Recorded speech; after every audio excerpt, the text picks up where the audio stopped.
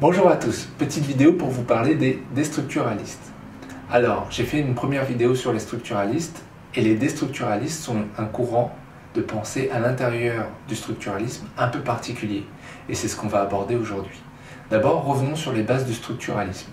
Le structuralisme, ce sont des chercheurs et des penseurs qui réfléchissent la réalité sociale à travers des structures. Un exemple simple, la famille. La famille est composée d'une structure, donc un papa, une maman, des enfants. Ça c'est le modèle, c'est la structure occidentale. Il existe d'autres structures, mais je ne vais pas les aborder.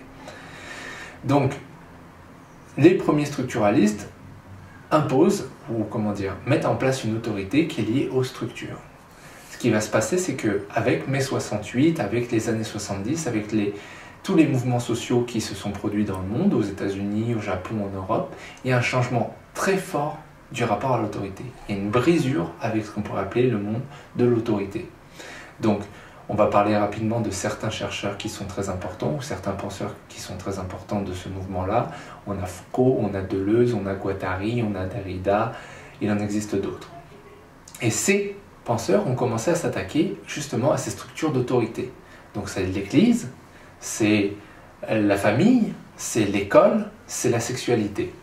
Et ils ont cherché à montrer qu'il était possible de modifier la structure pour pouvoir changer la réalité sociale, pour pouvoir autoriser quelque part des changements dans la manière dont on vit notre réalité sociale.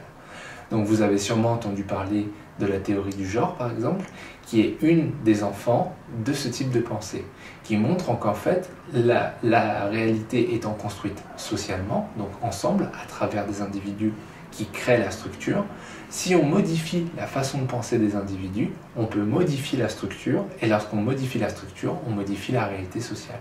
Et donc on peut faire une famille qui serait composée de trois mamans et de plusieurs enfants, ou de deux papas et plusieurs enfants, ou même d'un couple qui n'a pas d'enfants.